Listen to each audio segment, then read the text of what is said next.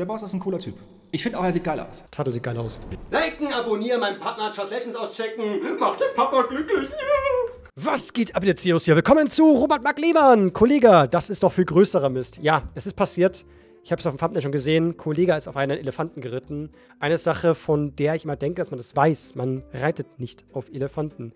Diese Tiere gehören nicht geritten. Das sind keine Reittiere. Es ist doch eigentlich nicht schwer, oder? Warum? Was zum Geier? Wir schauen kurz rein. Ach, was schon wieder für ein Thema. Aber wir beschäftigen uns ja bei, bei Mission Erde mit vielen Themen. Mit vielen wichtigen Themen. Hier ist mal wieder so ein Ding. Ich mache mal einen Tick schneller, oder?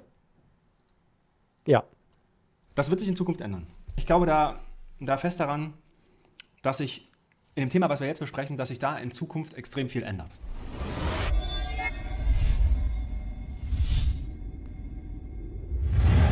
Ich glaube fest daran, dass Menschen manchmal Dinge tun, weil sie unwissend sind. Absolut. Nicht ungebildet, das möchte ich nicht sagen, sondern ich möchte sagen, dass manchmal Menschen Dinge machen, weil sie es einfach nicht besser wissen. So wie ich früher auch, so wie ihr alle, so wie ich früher Kippen weggeschnippt habe oder Fische gefangen habe, machen Menschen eben manchmal dumme Sachen. Wichtig ist, dass man hinterher daraus lernt und dann sagt, Mensch, das war vielleicht irgendwie Mist, habe ich nicht gewusst, scheiße, tut mir leid, mache ich vielleicht irgendwann besser oder nicht mehr. Weil, ne, auch so, das sich selbst eingestehen, da habe ich vielleicht irgendwie Mist gebaut, das ist ja manchmal auch ganz wichtig. Kennt ihr das, dass ihr so unlogische Dinge habt? Also sowas wie, was ich zum Beispiel nicht kann, ist Müll auf den Boden werfen. Das kann ich nicht. Das geht irgendwie nicht. Ich weiß nicht warum. Manche können das ja so. Sachen aus dem Fenster werfen oder so oder auf den Boden werfen. Das geht irgendwie nicht. Also ich, ich trage Dinge immer ganz lange bei mir und schmeiß weg. Aber vermutlich kann ich aus meinem Leben ganz viele Beispiele finden, so dass ich Dinge kaufe in Plastik, die es auch ohne Plastik gäbe. Oder halt doch mir Fleisch hole, was mal minderwertig ist. Also ganz oft bin ich bei der Tanke und sehe dann so, so Beefy-Produkte. So Beefy-Roll, äh, und das ganze Zeug. Ich finde es so, ich, es macht süchtig, der Scheiß. Ich will das Zeug mal haben, obwohl es so ein Scheißfleisch ist und so ein Quatschprodukt ist. Aber manche so, na, ich will es einfach haben. Oder Koffein, Alkohol generell und so ein Zeug. Das Ganze gibt ganz viele solche Schwachsinnssachen. Aber manche Dinge, da ist man irgendwie selber so, das geht nicht. Es wurde einem so als Kind beigebracht. Man wirft nichts auf den Boden. Als Dorfkind kriegst du auch richtig Ärger, wenn du sowas machst. Ja. Ich kann es nur bei Dingen, die verrotten. Gut, eine Bananenschale, das glaube ich, kriege ich noch hin. Aber es muss nur irgendwas sein. Papier ist schon super schwer. Papier geht schwer nicht, finde ich. So, wir reden jetzt über den Boss. Ich mag den Boss. Ich mag den Boss. Ich nicht. Kann mit Rap nichts anfangen. Kollege, verstehe ich gar nicht, was da. Also, bestimmt nicht schlecht als Rapper. Bestimmt ein guter Rapper. Keine Ahnung. Kollege, ganz genau. Ich mag den Boss eigentlich sehr. Ich finde, der Boss ist ein cooler Typ und irgendwie, irgendwie mag ich ihn. Ich mochte den bei seinem Auftritt bei, bei Böhmermann und so. Der Kollege ist ja kein, der ist ja kein Dummkopf. Ganz im Gegenteil. Ich weiß nur, dass er mal dieses, dieses, dieses Alpha-Scheiße da losgetreten hat mit Du musst Alpha sein, sei kein Beta. War es nicht sogar Kollege, das irgendwie. War das Kollege, der das äh, als erstes so ein bisschen. Hm, ich mag was gar nicht, so ein dummes Gelabern. Das ist schrecklich. Ich glaube, der, der Kollege ist super smart. Ich habe einen Teil seiner Musik gehört, finde ich auch ganz geil. Kann ich mich mit identifizieren. Finde ich geil. Der Boss ist ein cooler Typ. Ich finde auch, er sieht geil aus. Und ich mag auch, was er manchmal so sagt. Nicht alles natürlich. Tate sieht geil aus. Ne? Und man darf auch nicht verwechseln, dass im Deutschrap ganz viel auch Show ist und äh, nicht alle sind die ultra krassen Supergangster und die ich eine Frau, würde ich einen Robert Mark Lehmann mehr als Partner mir wünschen als einen Kollege. Kollege absolut nicht. Das wäre der letzte Mensch, den ich als Freund haben wollen würde. Oder des, dessen, den ich all- meiner- meinen Eltern vorstellen müsste. So, das ist mein neuer Freund. Ach du Kacke. Da will ich mir währenddessen im Boden versinken. So ein Prol Prolet. Ach, ach du Scheiße. Aber ich bin auch, äh, ja, das hat natürlich meinen Geschmack. Jörg hat anderen Männer- oder Frauengeschmack. dealen wirklich mit Drogen, da schießen Leute. Das gehört alles zur Kunstfigur dazu. Aber der Kollege gefällt mir schon. Ist ein, ich möchte nicht sagen, ich bin Kollege-Fan. Ich mag ihn. So, was ich nicht mag, ist sowas. Das finde ich doof. Das finde ich wirklich Mist. Und äh, ihr erinnert euch an mein Video zu Katja Krasavice mit den Kanickeln. Wisst ihr, wisst ihr, was ich da gut fand? Wir haben uns das Video äh, OnlyFans, ne? Ich habe einen roten Benz, dank OnlyFans. Katja hat in dem Video, was sie gemacht hat, diese Kanickel getragen und auch ihre Mitstreiterin. Ich habe das kritisiert, wie auch einige andere auch. Da haben wir auch reagiert. Und Katja hat sich das zu Herzen genommen. Und sie hat in einem Interview, Interview mit Leroy Matata, den kennt ihr bestimmt auch, ne? Ja, Leroy. Ähm, Hat sie tatsächlich sich auch dann dazu geäußert und hat gesagt, ja, das war Mist und das werde ich nicht mehr machen. Und wichtig, was sie auch noch gesagt hat, sinngemäß, ne? wir können uns das Interview jetzt nicht, nicht in der ganz, gänzlichen Länge an, anschauen, aber ihr könnt das einfach mal äh, bei Leroy Matata euch anschauen. Das geht, glaube ich, hier am Anfang los. Ich äh, höre mal kurz rein. Ich habe das gerade noch auf Snapchat in den News gesehen. Ich weiß, was kommt. Weißt du, was kommt? Katja hat, ähm, was hat sie? Sie hat sich nicht geäußert. Ja, und irgendwann hat sie sich dann aber geäußert zum Vorwurf der, der, der, Tierquälerei. Geht da mal rein, hört euch das mal an. Ist ganz interessant. Und auch da muss ich sagen, Respekt an Katja, das habe ich auf äh, Instagram aber auch schon gesagt. Geil, dass sie sich dazu geäußert hat und gesagt, ja, war Mist, wusste ich nicht besser, weiß ich jetzt besser, mache ich nicht nochmal. Und ich würde, und das war der schöne Satz, sinngemäß, ich würde mir wünschen, dass sich das einige andere Menschen, nicht nur im Deutschrap, sondern überall in der Musikszene, auch annehmen würden. Und das fand ich geil. Das ist selbstreflektiert, das ist intelligent, das ist smart in die Zukunft gedacht und es kann ja nur jeder gewinnen. Nicht nur dein Image, sondern auch die Tiere, die Followerschaft, alle haben was davon. Tierfreundlicher zu werden, nachhaltiger Umweltschutz oder tierschutzgerechter, hat immer nur Vorteile. Das hat nie einen Nachteil. Niemand wird das Video bescheuert finden, weil keine Hasen drin sind. Niemand wird ein Video von Kollega blöd finden, weil kein Elefant drin ist. Niemand wird ein Video von Contra K beschissen finden, weil kein Tiger drin ist. Man mag ja die Mucke. Man mag geile Autos, man mag geile Typen, Frauen, wie auch immer, geile Kostüme, geile Tanzperformances, Jetskis in Pools, whatever, keine Ahnung, mir egal, das mag man alles. Aber die Schwierigkeit liegt bei den Tieren und das ist Ne, kein, jetzt nicht wieder der ultra große Kritikmeister, der den Finger. Ich würde generell bei Tieren immer sagen, das ist so, da muss man so ultra krank aufpassen, weil wenn du da was falsch machst im Internet, es gibt immer einen, der es besser weiß und der wird dich darauf hinweisen. Und äh, wenn du irgendwas richtig krass falsch machst, kriegst du zu Recht dann auch dein Fett weg. Also da würde ich sowieso immer aufpassen. Ähm, ja, aber vielen Dingen ist es ja so. Erhebt. Es ist lediglich ein, warte mal, da müssen wir kurz drüber reden. Das ist mir einfach sehr, sehr wichtig. Ihr wisst, ich bin ein großer Freund der Tiere und ich fand gut, was Katja gemacht hat. Und äh, immer mal wieder ganz interessante Interviews, wenn man sich dann auch mit den Leuten beschäftigt, was der Le Leroy so aus den Leuten rauskitzelt. Anyway, schaut es euch an, geht rein. Danke nochmal, Katja, für dein Statement dazu. So, als ich das gesehen habe vom Kollegen, vom Boss, habe ich sofort runtergeschrieben, äh, sinngemäß, äh, kein Boss der Welt reitet auf Elefanten. Und PS, ihr seht hier an der Zitze, ist eine Elefantenkuh.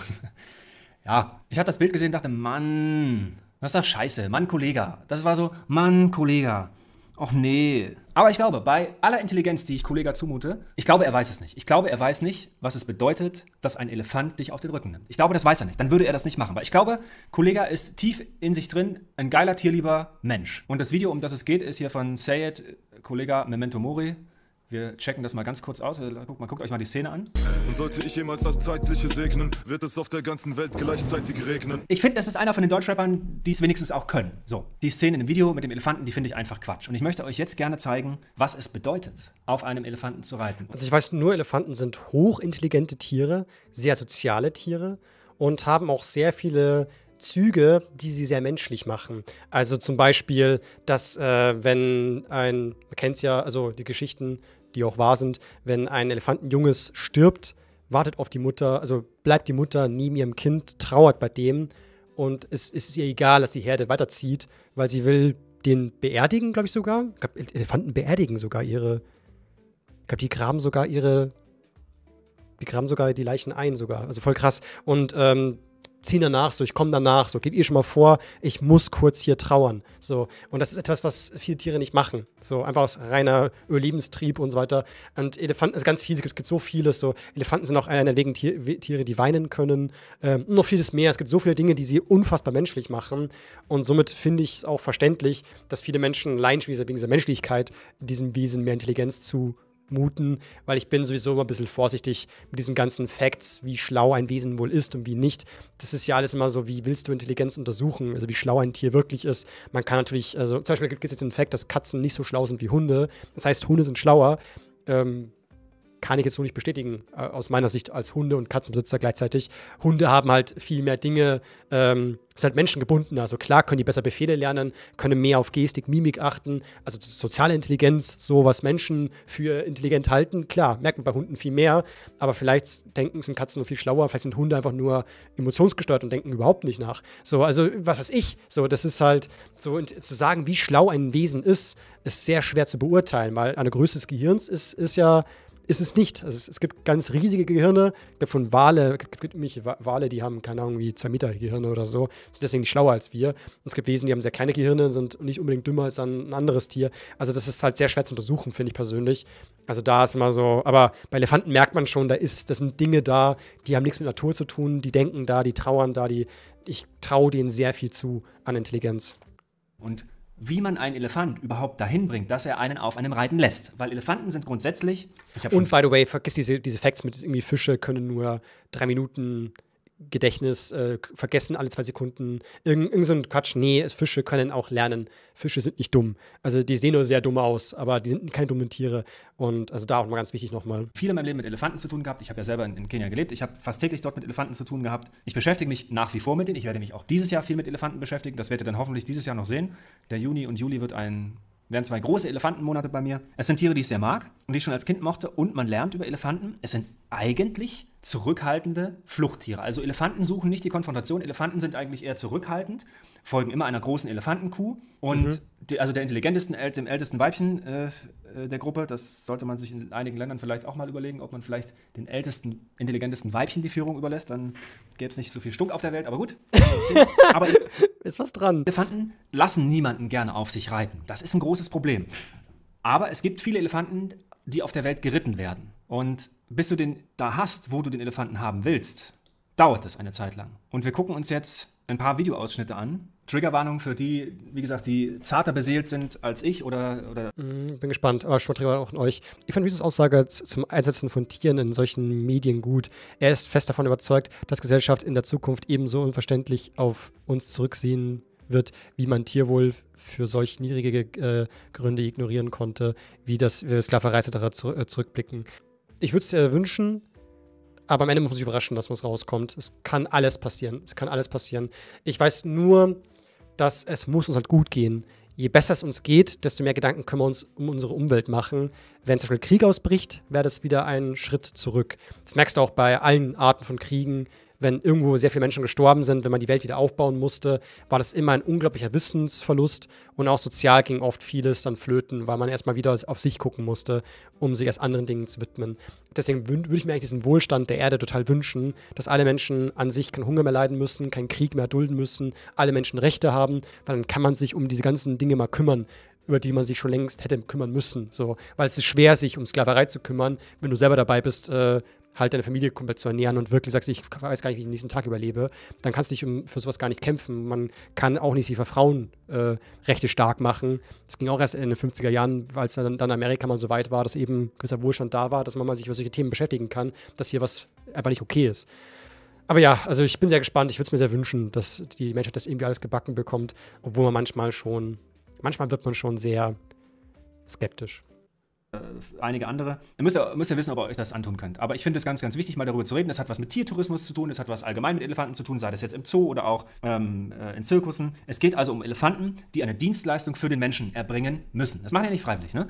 Da gibt es immer wieder auch schöne Videos äh, aus Indien oder so, wo so ein Elefant auch mal durchdreht und den, das ganze Dorf zerlegt, weil es ihm einfach reicht. Denn bis ein Elefant einen auf den Rücken lässt, dauert es Monate bis Jahre, in denen man den Willen dieses Elefanten brechen muss. Und mit brechen meine ich brechen. Und so groß Elefanten auch sind und so groß ein viereinhalb Tonnen schwerer Elefantenbulle dasteht und als mächtigster Meister an Land rumläuft, so unfassbar sensibel sind die auch. Das sind eigentlich die krassesten Sensibelchen, die ich so im Tierreich getroffen habe. Aus Gründen.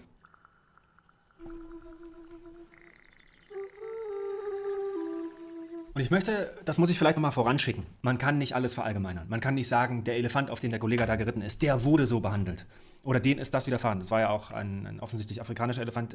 Wir reden überwiegend über asiatische Elefanten. Es ist ein großer Unterschied. Nicht jeder Elefant, auf dem geritten wird, wird sicherlich so behandelt. Aber es ist ein Tier, was man meines, nach, nicht meines. Erachtens nach nicht reiten sollte. Man sollte sowieso meiner Meinung nach keine Tiere reiten. Ich bin ja da eh sehr schwierig. Wer, das, wer meinen Reit-Podcast schon gehört hat, weiß eh, wie ich dazu stehe, dass ich das alles sehr, sehr schwierig finde. Aber der Elefant ist nun mal kein domestiziertes Tier wie ein Pferd. Es ist und bleibt ein Wildtier, auf dem man nicht reiten sollte, weil wir gucken uns jetzt an, was das bedeutet, auf einem Elefanten zu reiten.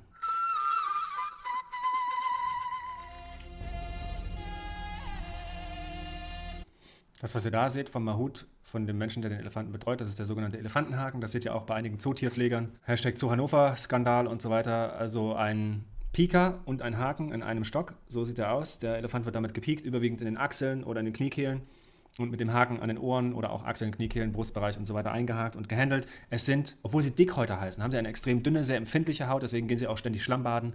Und sie sind sehr sensible, super empfindliche, absolut krasse Familientiere, genau wie Orcas, selbe Familienstruktur. Und die von der Herde zu separieren, wegzufangen, als kleine Babys einzeln zu halten und deren absolut krassen Willen zu brechen, zurück zur Herde zu gehen, kostet enorme Kraft und unfassbar viel Folter diesem Tier gegenüber. Oh, weia. Das ist das, was hinter den Kulissen stattfindet, Freunde. Immer abseits von den Sachen, die man sieht. Und kein Kollege, kein Boss der Welt heißt sowas gut. Garantiert nicht, wenn er das wüsste. Weil, ganz im Ernst, Kollege, du bist der Boss. Du hast auch eine ganz hohe Verantwortung und du bist kein Tierquäler-Boss. Du bist ein geiler Boss. Kein Boss der Welt heißt diese Scheiße gut. Und ich glaube, wenn du das siehst, wirst du dich schämen, dass du auf einem Elefanten gesessen hast. Da bin ich mir sicher. Aber man kann es auch wieder gut machen. Und das ist das Schöne daran, Freunde. Man kann seine Fehler immer wieder gut machen. Und Boss, ich bitte dich darum. Bitte, bitte, lass den Quatsch, mach dir Gedanken darüber und vielleicht hast du ja Bock, dich zu äußern, das würde mich sehr, sehr freuen und beschäftige dich mit dieser Thematik, weil das ist immer nur so eine Ego-Geschichte. Ich kenne das. Ich war auch so. Ich war genauso. Ich bin kein Gutmensch. Ich bin nicht besser als alle anderen da draußen. Überhaupt nicht. Ich war genauso ein Arschloch. Aber ich weiß heute einige Sachen besser, weil ich mich damit beschäftigt habe und weil ich Menschen hatte, die mir den richtigeren Weg gezeigt haben. Das gehört dazu, bis der, bis der Elefant sich auf den Rücken jemand steigen lässt. Du musst den Willen des Elefantes brechen. Ich glaube, es ist klar geworden und man hat, glaube ich, deutlich gesehen, dass der Elefant tatsächlich kein Tier ist, auf dem man reiten sollte oder den man für Musikvideos missbrauchen sollte. Es ist einfach, es ist nicht richtig. Und ich glaube, dass all diese Rapper da draußen, und ich bin großer Fan von euch allen. Ich bin großer Rap, Deutsch-Rap-Fan. Ich ich mag es wirklich sehr. Ich höre es gerne, ich finde es geil. Aber niemand braucht in euren Videos die Tiere. Denkt doch immer bitte an die Tiere. Deswegen mein Aufruf an den Deutschrap. Und dafür könnt ihr mich hassen, beleidigen und bedrohen. Aber wenn ihr dafür das mit den Tieren unterlasst, dann, dann wäre ich glücklich. Aber ich glaube, Kollega ist ein, ist ein korrekter Typ, der, wenn er da mal drüber nachdenkt, auch von ganz alleine drauf kommt. Ich wollte nur hier einen kleinen Gedankenanstoß geben in die Szene mal wieder rein. Bitte, liebe Rapper, macht euch Gedanken, keiner braucht die Tiere. Und tut uns allen einen Gefallen und vor allen Dingen diesen Tieren. Und denkt darüber nach, was ihr tut. Absolut. Also ich persönlich bin, also ich tue mich mittlerweile sogar richtig schwer, äh, in einen Zoo zu gehen, weil ich den Zoo mittlerweile, so traurig es klingt, ich kann ihn nicht mehr genießen, weil ich ganz oft drüber nachdenken muss, ist es gerade gut, was ich hier sehe oder nicht. Es gibt Ausnahmefälle, bin ich so, ja, passt schon, aber gerade bei äh, München haben wir zum Beispiel Eisbären und ich weiß nicht, was Eisbären in München zu suchen haben. Das ist irgendwie ist das falsch. Das kann ich irgendwie nicht. Wow, ein Eisbär. Es geht, als Kind ging das total so, wow, cool, cool. Da war man halt so, so war man so, so mit so Kinderaugen, hat man die ganze Welt da ertastet. War cool, war das Giraffen zu sehen und, und Elefanten und sowas. Aber mittlerweile diese Mini-Gehegen und irgendwie diese wilden Tiere, die eigentlich ja nicht sein sollten. Und ich frage mich so, ja, ist es wirklich notwendig, dass ich da 8 Euro oder 12 Euro oder 20 Euro Eintritt zahle und, und dann gucke mir diese wilden Tiere an und gehe wieder? Ist es wirklich ist es gut oder ich weiß es nicht so. Ich habe mich jetzt auch nicht krass informiert, aber irgendwie genieße ich es halt schwerer. Und ganz komisch fand ich immer Zirkus, also Zirkusse, ist Mehrzahl von Zirkus Zirkusse, klingt wie falsch, Zirken? Egal. Ähm, ein Zirkus mit Tieren fand ich auch immer ganz komisch schon, weil Tiere, also also ich, ich liebe Akrobaten, so Menschen, die geilen Scheiß machen. Das machen die ja von, von sich aus hoffentlich, zu, aus voller Überzeugung. Arschgeile Nummer, gucke ich mir gerne an. Aber Tieren, klar kriegen die ein bisschen Happa-Happa im Nachhinein und haben ein ganz lustiges Leben auf irgendeine Weise. Kein, kein Leben, wo sie von Jäger weglaufen müssen. Aber die begreifen das Ganze ja überhaupt nicht. Und auch das fand ich dann immer so ein bisschen schwierig. Gab es ja auch unglaublich viele Skandale mit, Zirkus, mit Zirkus, mit Bären, die tanzen, die eigentlich einfach nur auch komplett kaputt gemacht worden sind. Also bei Tieren irgendwie da bin ich immer mehr Fan davon, lass die Finger komplett davon. Beim Pferd lass mir noch einreden, okay, das Tier ist mittlerweile so weit weg von einem Wildtier, das hat man wie ein Hund halt hingezüchtet, dass es einfach ein Reittier geworden ist. Aber auch da frage ich mich immer wieder, dass, also ich kann kein Pferdefan sein oder ein Reitfan.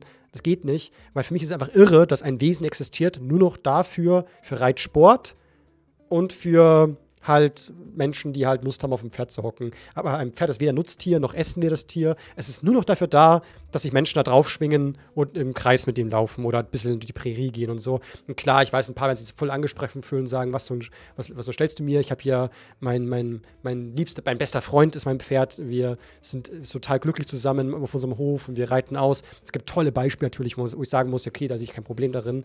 Aber manchmal ist halt irgendwie der Gedanke halt voll verwirrend, was man, was Tiere eigentlich für eine Rolle noch spielen äh, auf dieser Erde. Und vor allem, wie, wie, wie von Jahr zu Jahr es immer weniger dieser Wildnis noch existiert und ob die Zukunft wirklich das ist, dass in 50 Jahren sowas wie Wildnis und wilde Tiere nicht mehr existieren, sondern nur noch der Mensch und dann halt Spaß aus Spaß und als Nutz, als Essensgut, als Produkt das Tier noch irgendwie nebenbei existiert.